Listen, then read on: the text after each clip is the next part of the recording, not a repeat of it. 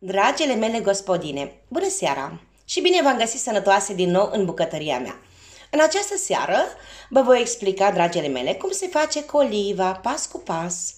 Este, se face o procedură foarte simplă, fiecare gospodină poate să o gătească, foarte rapidă, nu este greu, dragele mele, eu vă spun pe înțelesul fiecăruia, pentru că și eu sunt ca și voi, deci nu sunt, uh, să zic, o specialistă, sunt o bucătăreasă ca oricare femeie. Și vă spun, vă împărtășesc exact cum uh, pregătesc eu această colivă. De exemplu, la un kilogram de arpacaș trebuie să țineți minte, să fiți foarte atente, să fie un arpacaș de bună calitate. Acesta este de preferat pentru că uh, când o să spălați acel arpăcaș, o să vă dați seama dacă este curat sau nu este curat. Deci trebuie ales bine, în prealabil, și apoi trebuie pus la moi în apă rece. Eu așa îl pun. E de preferat cu câteva ore înainte de a-l pregăti să-l puneți într-o, într-un recipient cu apă.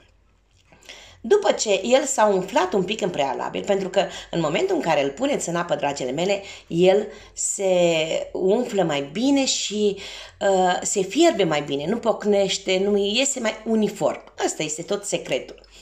Uh, deci, uh, după ce el uh, l-ați pus la înmuiat, îl spălați, e de preferat să fie în mai multe ape, spălat bine, bine, în nouă ape, Așa se spuneau bătrânii noștri, că este bine să-l speli, pentru că o să vedeți că de fiecare dată când îl spălați, iese acea apă albă, iese acea maia.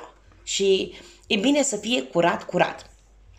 La un kilogram de arpacaș, eu folosesc 750 de grame de zahăr, coaja rasă la o lămâie, coaja rasă la o portocală, o esență de rom și dacă mai trebuie, mai puneți un pliculeț două de zahăr vanilat, dacă e nevoie. Dar vă spun sincer că nu este nevoie pentru că este delicioasă. Coaja de lămâie, coaja de portocală are un efect nemaipomenit. Deci este sănătos și iese și foarte bine, dragile mele.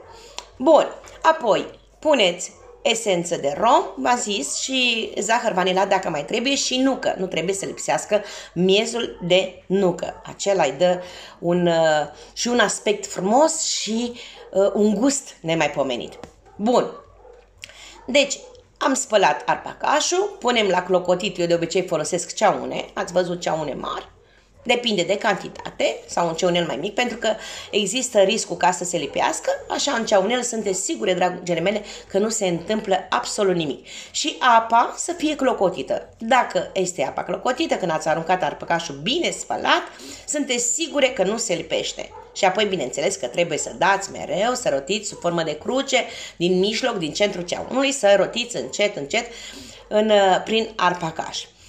După ce el a fiert la jumătate, dragele mele, uh, când este, simțiți bobul că este aproape fer la al dente, cum se zice în Italia, puneți sare cât trebuie, deci puneți o linguriță cu vârf de sare, de exemplu la un kilogram de arpacaș, puneți zahărul și îl lăsați să mai fiarbă până se leagă bine.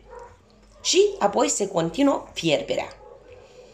După ce s-a fiert de tot, ați gustat și vedeți că este bun, închideți focul de sub ceaun și îl lăsați să se răcorească. Dar înainte de a-l uh, lua după foc, puneți neapărat să puneți miezul de nucă deasupra. Puneți întâi, v-am zis, uh, coaja de lămâie în interior, puneți uh, de portocal, esența de rom, zahăr vanilat, ce trebuie și Apoi, puneți presărați cu deasupra cu miez de nucă, dragile mele, măcinat. Pentru ce puneți miezul de nucă? Și lăsați să se răcească în voi. Pentru ca să nu se formează acea crustă, acea coajă. Bun.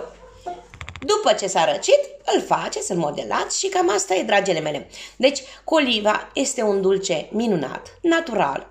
Puteți să-l folosiți și pentru copiii voștri, pentru că îi îmbie Uh, îi uh, atrag acele bombonele, puneți nucă de cocos deasupra și cu acele bombonele, iese o minunăție, vă dați seama, iese foarte bine, dragele mele. Eu am avut niște comenzi această seară și am făcut uh, aceste minunate colive, vedeți, după cum vă arăt, pentru că nu știu să filmez bine, fac și eu cum pot, vedeți? Iar aici am pus în păhăruțe frumos pentru a uh, veni clienții să le ia, să le dea de pomană. Acum ce să vă mai zic, dragele mele? Vă urez o seară frumoasă. Sper că v-a fost uh, utilă această rețetă. Vă aștept cu mesajele voastre în privat să mă întrebați alte rețete și eu cu mare drag vi le împărtășesc. Vă doresc o noapte binecuvântată, sănătate și fericire și să auzim de bine, dragele mele. Pupiși dulci!